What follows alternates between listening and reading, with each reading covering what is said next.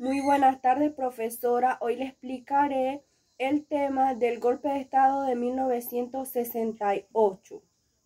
Mi grupo está conformado por Pérez Néstor, Jiménez Mariano, Rosa Esquiani y mi persona, Ariani Guevara. Derrocamiento de Arnulfo Arias Madrid. Ante la imposibilidad del desconocimiento de Arnulfo Arias Madrid como virtual ganador de las conflictivas elecciones, el 12 de mayo de 1968, en comentarios extraoficiales, se hablaba de un pacto entre Arias y la Guardia Nacional, el cual consistía en que se hacía efectiva la jubilación del comandante Bolívar Vallarino. El 11 de octubre de 1968 y en su lugar quedaría el coronel José María Pinilla respetando la estructura de la organización de la Guardia Nacional para no convertirla nuevamente en el cuerpo policial de Pito y Tolete. Eh, la Guardia se comprometía al reconocimiento y respecto al triunfo en el torneo electoral. El 11 de octubre de 1968, entre las siete y media y nueve y media, en cuanto a la hora precisa, de acuerdo a varias versiones, se inicia el golpe militar dirigido por el mayor Boris Martínez, jefe del cuartel de la provincia de Chiriquí. E inmediatamente es leído el comunicado en emisoria de esta provincia, donde se anuncia el desplazamiento del presidente Arnulfo Arias Madrid por los militares. Durante el golpe militar no hubo enfrentamientos violentos y en menos de dos horas todo estaba consumado.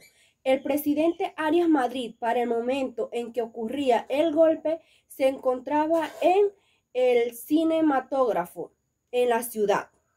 Una vez conocida del golpe, él se refugia en la antigua zona del canal, con parte de sus allegados políticos. Ascenso de los militares al poder. Se encargó del poder una junta provisional del gobierno formada por el coronel José María Pinilla y Bolívar Urrutia. Eh, el 12 de octubre los golpistas dieron a conocer las causas del golpe. Eh, mediante un comunicado al país, las causas del golpe realizado la noche anterior. Entre sus principales razones y medidas aplicadas estaban la tendencia de Arnulfo Arias Madrid de adueñarse de forma absoluta y dictatorial se buscaba restablecer una orden constitucional. Se eliminaban los partidos políticos y la Junta Provisional gobierna por el decreto. Las reacciones no se hicieron esperar. Las más violentas de ellas fueron el levantamiento popular en San Miguelito y la formación de guerrillas en Chiriquí, cuyo primer choque con la Guardia fue el 12 de octubre. Coclé y la guerrilla del Movimiento de Liberación Nacional el 29 de noviembre se formó un frente cívico con llamado a una huelga de brazos caídos.